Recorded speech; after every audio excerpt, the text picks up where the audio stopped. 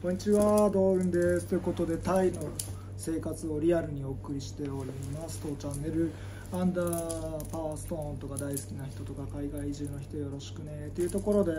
あのーまあ、現地化していくにあたって、まあ、コンビニばっかで生活もね現実味がないですし、まあ、その旅行であれば普通になんか外食で済ませて、ね、それで全然 OK だと思うんですけどやっぱ日本にまあ、これ見られてる方大体日本だと思うんで日本にいらっしゃる方であれば、まあ、その日本での生活の時に例えばお惣菜買い行くとかスーパー行くとかあるじゃないですか、まあ、僕もなんかそのコンビニで済ませる時もあれば場所によってはスーパー行ったりとか特にね地方行くとその地方でしかないスーパーとかまあ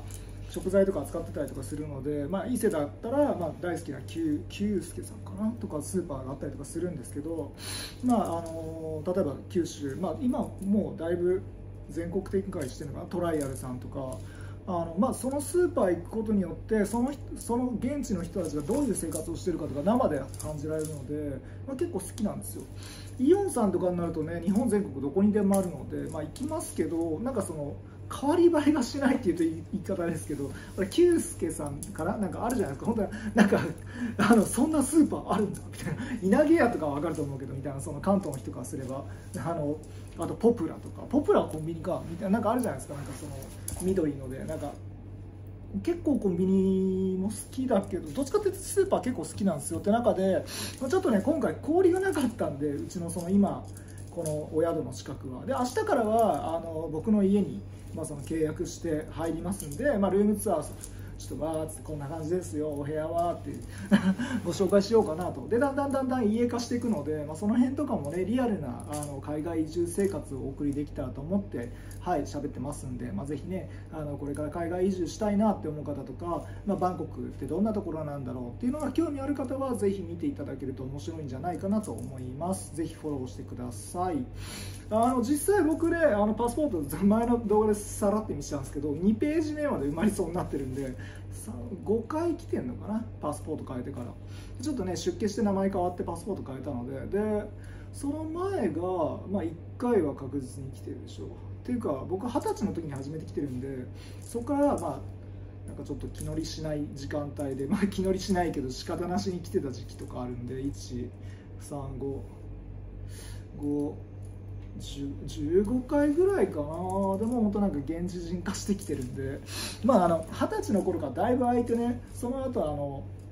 前の会社やってる時代に来た来たりとかあのその時仲いいメンバーと来たりとか、まあ、今回ねまたあのいろいろと縁あってまたバンコクに来てるわけですけども。ちょっとね氷がなかったんで結構氷ないパターンとかあるんでマジで勘弁してほしいから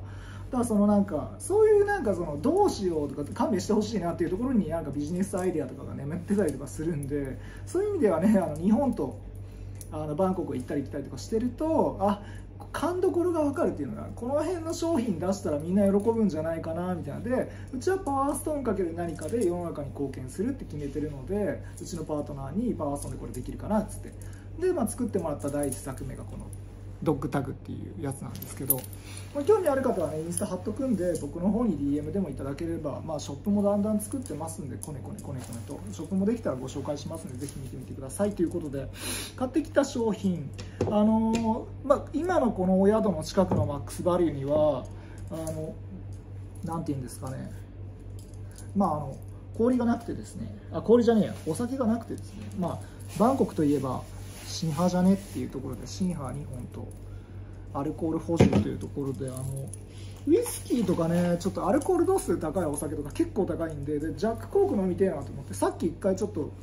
飲み物買いがてらちょろっと軽く買い物行った時にあのコカ・ココカ・コーラのなんかブラックみたいなのあるじゃないですか？あのゼロコークっていうのかなあれ。買ったので、まあ、そのウイスキーでコカハイにすっかと思ってジャックコークのジャックがなかったんで前のお宿の時っていうか前の拠点の時というか僕の大好きな拠点の時はあのまあ間違いなくジャックあるんですけどちょっとね新しいコンビニなのでまたじゃあなんでいつものエリア行かなかったんだって言われたら、まあ、いつものエリアが 友達のお店が日曜日で本日日曜日でね残り軒並み閉まってましてマジかと思ってしゃあねえなと思って。なんであの、まあ、あと次明日ねあの家を借りに行くエリアに近いので、はいあのここの宿にしたんです。ここも1回来たことあるんでね。そう結構 w i f i 環境が良かったりとかなんですかね。まああとはコスパがいいんですよここ。すごくコスパがいい。前の宿とかだと入るチェックインするときに手付けで1000バーツ預けなきゃいけなかったりとかしたりとかあとは3時以降とかかな。それまでちょっと時間潰せっていうとあれだけど、まあ、うちの仕事先のあの、まあ、お付き合いしてるところ行かせていただいてでそこから来るみたいなだとちょうどいいぐらいのコースなんですけど空港からそこ行ってみたいな。なんですけど今回その 仕事先も今回閉まってるの思い出してやべえと思って仕事先閉まってる友達のお店閉まってるみたいな行くとこないみたいな。ってなった時にああのエリアも行くとこ道はあるから、まあ、知ってるとこ勝手にしてるとこあるしちょっと気になるお店もあるから行ってみようと思って、まあ、今回その麻生区ってエリアに来たんですけど、まあ、この前のその他の動画見ていただいた時に、まあ、すごく竜の風の気持ちいいとこですよって言ってたのはあのチョーキットっていうところのエバーグリーンエバーグリーンってホテルなんでここはちょっとまたアドミナルなんちゃらっていうホテルなんですけどまあ明日以降ね僕あのもう家を 借りましたんでついに。だってホテル代でここで大体8000円かなだから大体3パー2024万円ぐらいが月でってなった時に前のそのここの前の回数もっと高くて、まあ、ここよりもうちょい綺麗なとこただ設備としては古いみたいな。設備としては古いけど、まあ、そのキャストさんっていうんですかねスタッフさんたちもめちゃめちゃ仲いいし顔見知りだしみたいなめちゃめちゃ居心地いいもう本当に我が家みたいな、まあ、福岡とか東京にもあったりとかするんです。東京はさすがにそこまでのところはちょっとあれか、うん、だけど福岡とかあったりとかするんであこの人帰ってきたみたいな。だから僕もうなんか帰ってきた瞬間に名前書かないでも名前言われるぐらいのにはなってるんですよ。であの今回であのなんて言うんですかね。エアアジアの受付してくれた方もあ僕のことを覚えてるんだと思ったんであっていうそうなんかまた会いましたねってあっていう。あのお名前が独特なんでみたいな。あそうなんですね。今回引っ越したんですよみたいな。いいなって言われて。来ればいいのにみたいな。そうそう。見てたらぜひ遊びに来てくださいということで、はい。あのまあ、このなりですから、ね、一応僕パワーストーン屋なんで、まあ、あの一応なんか自分なりに調合したのをはめてこっちと、まあ、こっちはねあの一番最初の本当なんか僕がネックレスを買おうって思ったタンザナイトっていうのは本当原点みたいな。これはちょっと僕のあの私物なんて売り物ではないんですけど。とあと売り物ドッグタグを一緒につけてこんな感じ。にねつけてあげてであとはそのまあもう1本大体つけてるんで今はアズライトマラカイトちゃんかな。その前はまたあの金の石お金の石って言われるやつつけたりとかしてて。で最近ちょっとあのユージさんって星読みのユージさんの本にはまってまして石の処方箋っていう本があるんですけどそこでなんかこいつだけ別物扱いされたヒマラヤ水晶を右にしてで左手と右手の話よく聞かれるんですけど左は吸い込む空気清浄機。なんで僕の場合はもともとこっちオニキスしてたんですけどあの最大の守り石みたいなの毒ドクタクしてたんだけどあの分かりづれって「あそれパーストンなんですね」って言われて一世三宅にいた人に「あそうっすそうっす」っていう話をして「ああ」みたいな「マジっすかやばいっすね」って話になったけど言わないといけんと思ったからタイガーアイならみんな気づくじゃん。ってことでタイガーアイにしてます。ハイト的にっていうところで。なんであのオニキス足んなくなってオニキスで、まあ、全開の守りをしながらグリーンファントムちゃんは地に足ついてあのコツコツ、まあ、そのなんて言うんだろうグランディングというか、まあ、そのちゃんと現金化していくとかあとはまたあの癒しの石だったりとかするんで、まあ、すごくベースな。でこの真逆パターンっていうかあれですけど全体的にパフォーマンス上げてくれて全開でぶっ走れるっていうぶっ突っ走れるのはゴールドルチルなんですけど、まあ、レッドブルみたいな感じなんで使いっぱなしになると だいぶもうゴールドルチルガーンっつってユージさんの本読んでください。石の処方箋。の、はい、ゴールドルチルの説明うまかったんで。まあでもガチで僕はレッドブルかなって思ってあのスイッチゴンって入れる時とかあとはちょっと今日スイッチの入り悪いなみたいな 僕はあのキャブ車のゲレンデバーゲンってあのベンツの G クラス持ってたんであのだからちょっとアクセル吹かしてやらないといけない日があるんですよ。キルキルキルキルっていう時にパンパンっつってバンってあのなんかアメ車みたいな V8 エンジンの乗ってたんですけど一時期。一時期結構乗ってたな俺。毎年1回は壊れるっていう。なんかそうあの そうなんです。当時入ってた保険でね賄えたんですけどなんかね車業界最近ビッグモーターとかのあれで だいぶわちゃわちゃしてるんで。もともと僕も車会社にいたりとか整備士の学校1年いたりとかしてるんで意外と車は詳しいです。はいというところで周りも車屋さん多いしね。でグリーンファントムちゃんとあとはハイパーシーンってこれは前回来た時にこの子買いに来た自分を導いてくれる石っていうので、まあ、今の調合をして今の DJ とかで言えばね今のあのグルーヴ感で、まあ、BPM でどれぐらい速いのか遅いのかじゃあ重点はどれぐらい効かせるのかトリビューって高音はどれぐらいなのかっていうのを自分の人生で調整してるって感じです。こっちの左手で。でヒマラヤ水晶右手は入り入りが左手だとしたら右は出なので浄化なんですよ。で最強の浄化石なんで全開で浄化してもらってるまあ都市部なんでねこれがなんか神社巡りさせていただいてたりとかちょっと前まで行ったパタヤとかあったら別に多分この子はそこまで必要ではないんですよ。なんかあの自然目の前にあるしみたいな海見えるしなんならみたいな。うわ太陽サンセットめちゃくちゃ綺麗っていうのが見えたんですけどさすがに仕事的にパタヤと行ったり来たりはちょっときついなみたいな。まあ、実際バス乗ればねバス乗り慣れれば高速バス乗り慣れればそのぶっちゃけ安く行けるんですけど調べてもらえば分かる通りで。スワナプーム空港からも行けるし次の新,、まあ、新居っていうんですかね拠点の隣の駅から東エカマイターミナルってどっからも行けるんで全然いいんですけど高速バス。一応トイレがついてるやつとか、まあ、トイレついてないバンみたいなので行ったこともあるしでもなんかね外して面倒くさくてバンで行った時にもう二度と行くかと思ってそれでは。だからそこからずっとグラブ使ってるんですけどグラブで行くとね片道1万円ぐらいするから結構高いんですよ。だからなんかそんなに乱発できないっていう乱発できないリゾートちゃんなんで。それ以上に乱発できないのはまあプーケットだけどね。1回バンコク来てもう1回飛行機乗るみたいな気合がいるんで昔若い時とかはね行きましたけどあのすげえ「ザ・ビーチ」っていうあのレオナルド・デカプリオさんが主演した映画がございましてその映画の,、まあ、あのモデルになったピピレイ島っていうあのレイピピ島のレイ島ちっちゃいコピピって言われる島があったりとかすぐ近くにあの大きいピピ島があったりとかするんですけどその一世三宅、まあ、鎌倉行った時ねたまたま盛り上がったんですけどその方が一世三宅行った時によくピピ島行ってたみたいな話をしてて行ったことありますかって「いやナイスナイス」みたいな。寒いもまだないしみたいな話をして。なのでまだまだねタイもあの他にもちょっと行ってみたい洞窟のとこかサンセット見れるようなとことかわらびわらびだってな。なんかそんな名前とかあるんですよ。寒いとかどうかから船で行くのかな。だからその結構ねあのディープな遊びを 深めようと思えば深めていけるんでそのいろんな方面で島とか例えばじゃあ寒いとからフルムーンパーティーっていう、まあ、一応なんかイビザと二大巨頭のあのレイブ島があるのであのそういうとこもありますしな時にねまあ一人でそこ攻め入るのもなみたいな どうなんだろうって思うじゃないですか。僕もなんか一人で行くのちょっと不安なんで。だったらなんかバンコクの魅力をお伝えしてバンコク来たついでにじゃあ一緒に寒いと行きますか寒いと行ってパンガン行きますかとか、ま、パンガンが好きな人もいれば多分そのプーケットみたいなのが好きな人もいるしちょっとなんかそんなに時間取れないっていう人であればスワンナプーム空港かそのエカマイターミナルからあのパタヤ行ってみたいなとかも結構あるなんていうんだ箱根的な部分ですかね。関東で。言えば箱根だし箱根というか小田原かな。パタヤ、うん、の歓楽街ガチャみたいな歌舞伎町くっついてますみたいな。で福岡の人で言えば糸島かな。糸島と中洲ガッチャンコしてるのがパタヤみたいな感じなんで、はい、そんなイメージかなっていうところでねいろいろとなんかちょっと現地化するために意図的になんかあのお惣菜とか買ってきてみたんでちなみに今からので1300円ぐらいで全部で。さっき計算してた。あーでもなんかねフォークとかスプーンが来るのはなんかもう異国だよね。箸来ない。まず箸来ない。一応持ってきたんだけどね。あの引っ越しセットの方に入れててあと割り箸あるんだけどそう割り箸で全然食べるから引っ越しセットの方にちゃんとあの神社行った時にいただいた開運橋があってそれはねちょっとまだフラジールのあの何て言うんだろう開けたくない方にあるんであっちは開けないで今日は生活したいあれ開け出したらもうたまったもんじゃないもんってたなんか結構頑張って詰めたから俺昨日。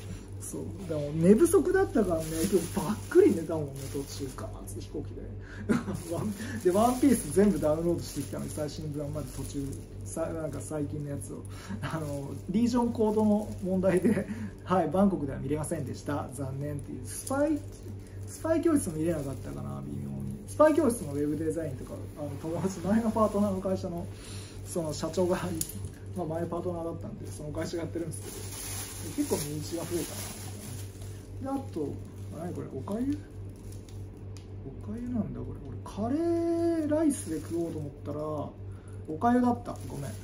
まあ、試してみるわ。10バーツ。40円で、まあ、せっかく来たからっていうのでレッドカレー買ってみたんだけどすぐ近くにお惣菜でチキン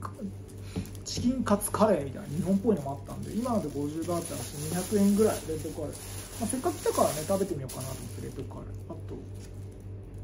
これサテフライドバンブーバンブーだ。からたけのこの炒め物が50バーツ。ただあの今全部出したの30%引きになってるんで餃子から全部。そう。なんでまあマックスバリューですからね。そう。あと日本食困ったら日本のなんか物に困ったら富士スーパー行きゃとりあえずなんとかなるっていうのは聞いてるんでこっちは。49バーツ。これも割引だね。これなんだって。うまそうだなと思って買ったんですよ。フライドポークウィズ。ああだからと豚のなんか炒め物。さ豚ねなんかさっき俺生ハムだと思ってセブンで買ったらあ全然生で。生すぎて。生ハムじゃねえよこれ。と思って焼かないと食えねえやつだと思って。でマジックスパイスみたいなのお塩となんかみたいなコンビニで日本のコンビニで買ったやつがあったりとかガーリックとかあったりとかするんであのなんで乾燥ガーリックみたいなのあるじゃないですか。それと炒めて食うかなみたいな。ってな鍋ないなみたいな。じゃあ明日鍋買い行こうみたいな。でマックスバリュー鍋なかったんでこっちの近くは。ただ明日の場所あればいいんだけどなきゃ買いに行くしかないけど。っていう感じでだんだん物を増やしていくっていうのがなんかドラクエとか FF とかなんかちょっとロールプレイングチックじゃないですか。あのなので、まあ、そういうのも面白いかなと思って撮ってますということで。あとはねあのサラダとかうまそうだったんでちょっとサラダとか買ってみた。シェイクサラダ。サラダ。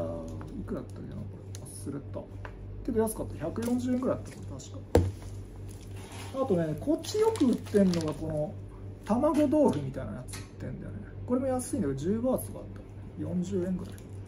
あとはなんかチーズ。チーズ買って赤ワイン飲もうかなと思ったけど結局なんか一応なんか安いウイスキー見つけたから安いのかこのサイズで400円とかでも600円とかまあ安いか。もうもう1個のやつもなんかあってこれぐらいの同じようなサイズ。どどっちにする？って言われて。とりあえず安いのからいっていいかってちょっと飲んでます。あとなんか日本じゃ多分売ってないだろう。フライドタロビのチップスみたいな。ないでしょ多分。こういうのもだから自分が食べてもいいしお土産にしてもいいしで持ってたりとかします。あとこういうあのマンゴーのこういう乾燥マンゴーのやつ。ドライフルーツね。こっちドライフルーツ系結構あるんで。フルーツ安いしね南国だからこっち。あとは大体朝なんかエネルギー補充で飲むレッドブル。もう日本のなんかヨーロピアン仕様の缶とかあるじゃないですか。俺も来るとき今日飲んだんだけどあのエアアジアで。でもねこっちこれが主流なのよ。確かねレッドブルってあのタイの会社なのよ。でオーストラリアでバズったかなんかでヨーロピアンスタイルみたいなので。で全世界に行ったんだけど。そうそうそうそう。だったりとかするんであとこれ買うかな絶対。朝水と混ぜて氷と水と混ぜて飲むみたいな。氷がね本当日本のと違って質が悪いんだよねめちゃくちゃ氷マジ。こんな感じで。そうあなんかちょっと溶けやすいっていうかこれまだマシな方だけどびっしゃびしゃになってこれもだからもうラスイチだったんですよマックスバリューで。もう1個ある方取ったら空いてる穴開いてるよって言われてもうもう1個しかねえじゃんって言って取りに来たんですけどなんか。なんかねちょっと水の氷の質は悪いかなっていうのがあったりとかするんで。ちょっと不便なのはねなんかそれなりに工夫しながら生活をしないといけないっていうのはあると思うんですけどちょっと中断しながら申し訳ないんですが。あそれをっぴいてもなんかあまりある魅力がなくてバンコクがあるのでバンコクまあバンコクは好きなんですけど僕はバンコクに行ったら多分プーケットとかサムイとか行きますと思うん。でこの辺りねなんか沖縄とか沖縄的なイメージがなこう沖縄かなうん一緒なここのレアドもねなんか本当家的な感じで冷蔵庫もちゃんとなんか家っぽいの置いてあったりとかすげくいいんだけど前のところはねもっとなんかホテルホテルな感じの作りだったんでここはちゃんとコンロとかもあったりするけどちょっとコンロあってもフライパンとかないんでここ。そういったオーストラリアのホテルとかはまあフライパンとかも全部置いてあったけどホテルに。でもあのもう元のベースの値段が違いすぎてマジやってらんねえってなんでこれこんだけ買って1300円ぐらい住んでるバンコクであのオーストラリアの方は多分4000円超えてくるんでマジでねお金がどんどんなくなってあーっつってあーって物価の高い国怖いよってなってあのバンコクに戻ってきたっていうのがあるんでちょっとね前のパートナーと破談してというとあれですけどちょっとあの、まあ、うちは揉めではないですけどちょっと僕に原因があります。ちょっと僕はも、まあ、問題を起こしたってわけじゃないですけどちょっといろいろいろいろもないな、まあ、ちょっとあるアクシデントがあってでそのアクシデントの結果前のパートナーと破談してお堂がなくなりあどうしようと思って日本にいても塞ぎ込んじゃうからあ怖いよってあの鬼滅の刃みたいなのあるじゃないですか。あのあのおじいちゃんみたいな感じになっちゃうんであどうしようと思って。なので、えっと、1回ちょっとなんかその時1万8000円でケアンズ行けたんですよ。ケアンズで合ってるかな。多分合ってる。オーストラリア一番日本に近いとこジェットスターで行ったんだけど。でケアンズ行ってでその後にメルボルンもしかしてワンチャンメルボルンでピュアっていうイベントをカール・コックスが毎年やっててそれがちょうどやってる時でわあ一日なんか早めにメルボルン行けば俺カール・コックス生で見れるじゃんと思ってあのメルボルン入りしてその次にの日にあのピュアっていうの見に行ってあ、まあ、スタートからラストの近くまでいたんだよ。オーラスまで多分全部いたらあれ帰れなくなっちゃうからあのウーバー使わなくて。なんであの結構楽しんだしいいやと思って。あのマジで人ガラガラとかカールコックスでブワッパンパンになるぐらい見て見たんで。生でだってもう本当目と鼻の先で見えたからマジでよかったと思って。ただメルボルン世界で住みたい街ランキング1位とかになってるけどむちゃくちゃ物価高いんでマジでお金飛んでくるのよ。こんなノリで買えないもん今みたく。そういう意味で言うとそれでもなんか物価高い嫌だと思って久しぶりにバリの兄貴に会いたいなみたいな。だバンコクの手前にバリがあるんで位置関係でインドネシアがあってオーストラリアじゃないですか。だからバリ行ってそこからバンコク行こうと思ったらバリがねちょうど PCR 検査を受けないといけなくて。そうそうそうあのワクチン3回打ってないと。あーみたいな俺1回も打ってないんでやっべえと思って ダメだみたいなチケット買った後に初めて気づいてああダメだいけないと思って。ああああっつって。でそこからバンコクバーンって来てまあ行きつけのバーストン屋さん行き。またそこからまあ新たな関係が生まれみたいな。大体その時ってその時まあそのヒマラヤ水晶ちゃんがない時代ってまたバンコク入りしてバンコクでやることを済ませたら、まあ、パタヤに行くみたいな。それはバスだったのが、まあ、そのバンになりバンからまあ Grab になりみたいな。あとその前に途中あのホテルで手配してもらってあの one way one way で戻るみたいなとかやってたんですけど、まあ、意外とバカにならないんで、だしもうパタヤはまあ行き尽くした感があるかなみたいな、まあ、ちょうどいいエリアも僕はもう見つけてあるんで、まあ、なんか海サクッと見たいとかだったらまあそこがいいかなみたいな。であとはそこからねあの island hop で目と鼻の先のところにフェリーだと40分ジェットボートで20分みたいな。ジェットボートだいぶ揺れるらしいんですけどあのまあ面白そうなアイランドがあったりとかするんでそうそう。なのであの、まあ、そういうのが好きな方はねぜひ行けるかなと思いますしあとねプーケット行けば、まあ、ビーチも、まあ、さっきも言ったけどモデルになった島とか僕もなんか最近鎌倉で聞いて行ってみたくなった、まあ、なんていうんですかねピピ島ピピレイ島っていうその要はあのビーチのモデルになった島のすぐ近くの、まあ、大きいピピ島みたいなのがあるんですけどそこも泊め泊まれるんでそうなんかもう秘境リゾートに近いですね。だから秘境リゾートでって他にもなんかその寒い島かなんかから船で行くのかな？プーケットが行くのかな？ちょっと忘れちゃったんだけどタイがこうあってプーケットプーケット寒いとかで上にパンなんかな？位置関係で言うと。そうなのでまだまだ全然行けてないところもあります、まあ、日本で言えば正直あの最北端から最南端最最東端最西端全部行ってるんで。いやそれもなんかその日本としてのも行けば本州としてのも行ってるしみたいな。日本でいうとだから45周してるんでもうだいぶ行き尽くしてるんですよ。北海道で言えばここの右の端っこの橋みたいな。とか行きたいとこで言えばね。あとは東京近郊で言えば小笠原諸島とか。あとはその種子島屋久島ぐらいが残ってるかなみたいな。与論島は行ったことあるしまた行きたいなとは思う。だって僕ジェットじゃないや船舶2級取り行った時世論から来てる人とかいたりとかしたんで。世論いいんですよね。今まで見た月の中で一番でかい満月を見たのが世論島だったんで。結構感動したんですけどあ月ってこんなに明るいんだみたいな。そうなんか街灯とかほぼなくてうん、あのに同じ日本だけどマジで日本異国感がするとことかあったんで。そう。なな大体大体回ってるんですよ。だから日本は。日本でやりたいこと大概やってるんですよ。あとは海を攻めるだけみたいな。そうだから陸上の交通手段から海上の交通手段になるっていうのぐらいが、まあ、ジョブチェンジするぐらいが、まあ、あとミッションが残ってるかなみたいな。空は別にいいかな。俺運転しなくても。空取り行く気ないもんあんまり。空なんか別にプライベートジェットでいいかなみたいなボンバルディアっていうのがあってそう ZOZO の前澤さんとか GMO の熊谷さんが乗ってるあるんですよ。後ろにベッドついてるような。あれいいなとシャワーついてベッドついたらねババって浴びてゆっくりできるじゃないですか。だからタイのバンコクの嫌なところが水場がなんか微妙な物件が多くて前のところもだから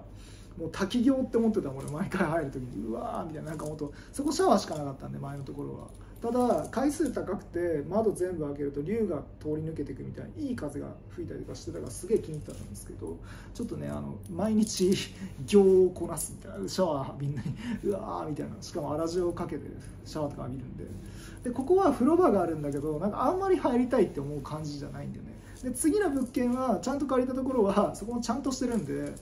しかもね風呂場までこう風呂と入れ場まで水場までだから玄関入って左行けばもう水場なんだけどで前行くと、まあ、リビングっていうのかな。でその横が寝室で寝室からもリビングからもあの水場に行けるんで、まあ、だからあの僕は別に寝室見られてもあんま困らない困る方ではないので別にいいんですけど実際寝室からの方が景色綺麗だしなんだけどそのまあなんかちょっと片付いてないなとかちょっと寝室今日は無理だなっていう時は今からでも行けたりとかするんで。でなんかちょうどねその珍しくバンコクにしては珍しくちゃんとあの突き抜けたところにまず1個換気するとこがあって。で左のベッドルームにもなんか45度ぐらいベッドルームなんですけどそこにも2箇所窓ガガって開けるってガンってこう取り込めるのがあるんであとはドアのところをカチャって開ければこっちのドアのところはもう吹き抜けになってるんで目の前が。ってなるとめちゃめちゃ空気の通りがいいんでめちゃめちゃ換気できるんですよ。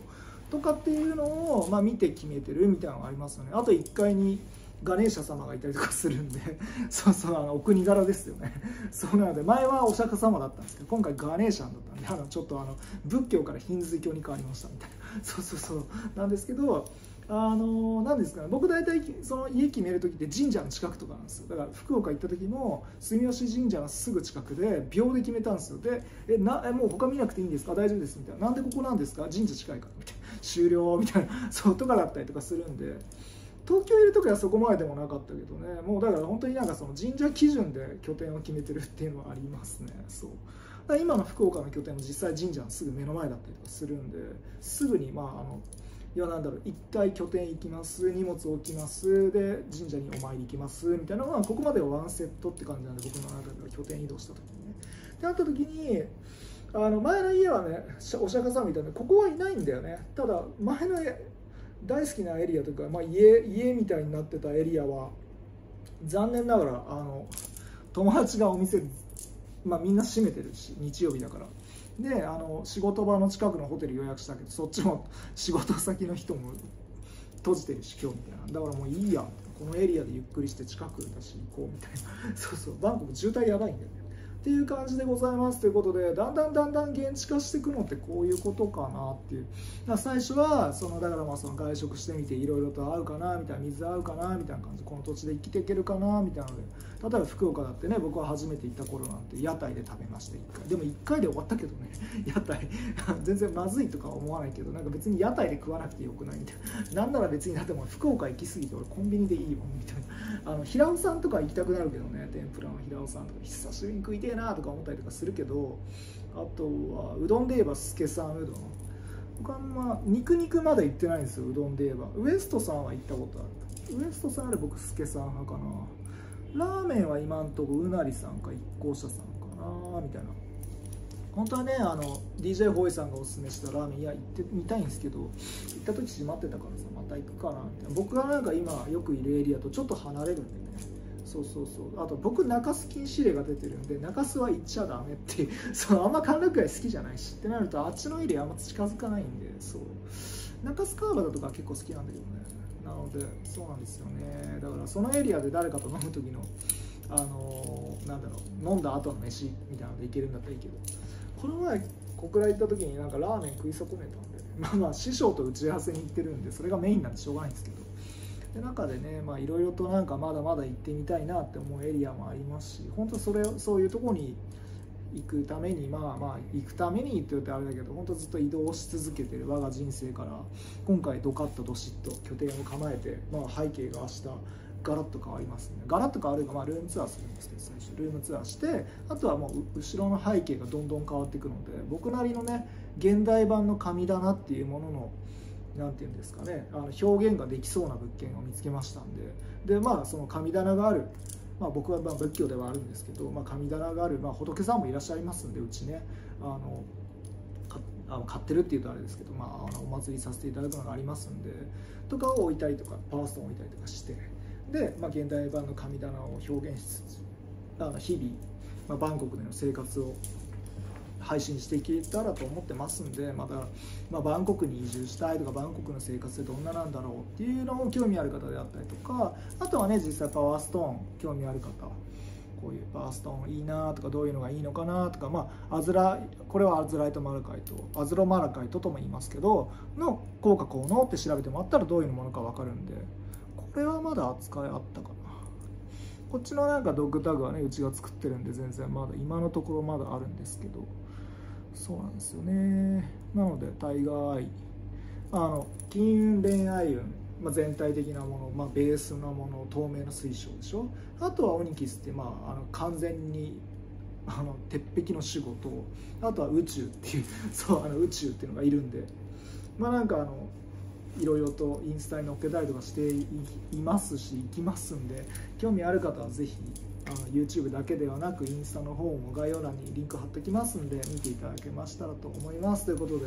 まああのねあのミニマリストはどういう生活してんだろうなとか 今までのねあのスーツケース1個でとかひどい時もリュック1つで生活してたりとかしたんでそんな男がねあのまた拠点を構え新しい生活を歩み出そうとしてますんで、まあ、私めのなんか生態報告ではないですけど、はい、あの成長報告っていうんですかね。また分かりやすくバンコクに来て新しいステージに入ったのでいろいろとなんかあのお伝えできることもあるかなと思ってこういうふうに撮らせていただきました、まあ、今までね本当人生でいろいろと歩んできましたんでなんか僕で答えれるような悩みとかであれば答えますし、まあ、そんなんはね別に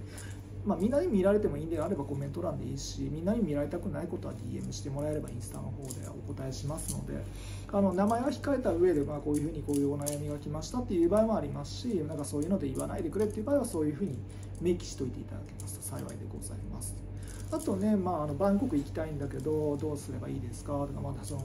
じゃああのどっから来るんですか？みたいな、まあ、関東近郊から来るんだったら多分あのスワンナプームだし関空も確かスワンナプームかな。僕はでもどっちかというとドンムアンの方がいつも空いてるイメージはあるんで福岡から来ると結構楽かもしれんとは思う。飛行機代も安いし1万2000から1万8000ぐらいのレンジでこなれてる感じなので一応今のとここの動画を撮ってる限りではあの重量検査は今のところないんであんま言い過ぎるとね重量検査されかねないから僕もだんだんだんだん言う言葉を控えていく可能性ありますけどフォロワーさん増えたりとかしたら、まあ、一応ねあの僕なりに便利なことは便利なっていうか僕なりの情報はお伝えしますんで。はいまあ、あのなんかその旅行好き旅好きの方とかまたバンコク移住したいとか海外移住したいとかあとはねパワーストーンで何か事業やってみたいパーストンどういうことやればいいんだろうとかまあその大抵ねいろいろと本当ミニマムなロットからサンプル作れたりとかしますんで結構商売はしやすいと思うんですよ商売立ち上げやすいっていうのかなだその僕もファッションブランドアパレルブランドっていうのをやっていこうと思ってるんでそのパワーストーンをきっかけにねまだまだ作品でまだまだサンプル出せてないのもまだまだあるんでだからそういう意味もあって、まあ、バンコクにつながるし、まあ、バンコクにいることによって日本で住んでたら払わなきゃいけないような 40%50% の税金が浮いたりとかするんでそれがねまた再投資できるじゃないですか。となるとまああの事業も拡大していくスピードが一気に変わるしまあこっちはね人件費も安かったりとかするんでな人件費安いしなおかつ真面目な方が多いのでタイ人とか。なのでまあ人によってっていうのもありますけどそうあのそれは日本も変わらないじゃないですか。ただ日本みたくなんかもう細ゆい細かい感じではないので本当なんかお互いがお互いをリスペクトしながら付き合っていきましょうねっていう最低限さえできればすごく住み心地のいい場所ではあるので僕も実際ねいろんな国でまあ永住できるかなっていうのを見ながらそれこそ最初なんてセブ島でしょ？でセブ島もまあなんか会社作るぐらいまでは行ったしあとその後バンバンコクの前が今の前クアラルンプールか。クアラルンプール。あとすぐ近くのランカウイ島とか。拠点をいろいろと探してだから定住する場所を探して、まあ、ず定住っつってもねじゃあ今後一生いるのかって言ったら多分違いますけど僕の場合バルセロナとスペインのイビザ島が控えてますんで。ただまあ今んとこはバンコクにいることが多いかなみたいな。バンコク拠点に例えばじゃあ仕事が回りだしたら次の目的地のバルセロナを視察行くイビザを視察行くとかあとはせっかくねバンコクにいるんで近くのじゃあ行きたかったアンコールワットカンボジアとか。本当日本でいう日本の国内線みたいな金額で行けるんでその辺だったら。だったりとか、まあ、付き合いあった人がいるシンガポールとかマレーシアクアラルンプールとか。あとはね、まあ、フィリピンも行けますし本当なんか東南アジアがより近くなったのでまあ日本から台湾行って台湾行って海外が近くなりより身近になり海外生活をしてでマレーシア行ってよりそれが深まりでバンコク来て家を借りよりなんかもよりも強固な土壌ができていったっていう感じなので、まあ、実際ね仕事としても現れてきてますし、まあ、次の拠点の家としてもこれから明日現れてくるので、まあ、ぜひねこれからの僕のま活動であったりとかどういうことをやってって、まあ、どういうものをリリースしてどんなことをしていくのかっていうのはまあ本当こちらのチャンネルで、はい、お伝えしていこうと思っておりますので、まあ、ぜひそういうのが興味ある方は見てみてください。フォローしてください。ということでね、まあ、少しでもいいなと思ったらぜひ応援クリックグッドボタンの方もよろしくお願いいたします。またまた動画でお会いしましょう。じゃあね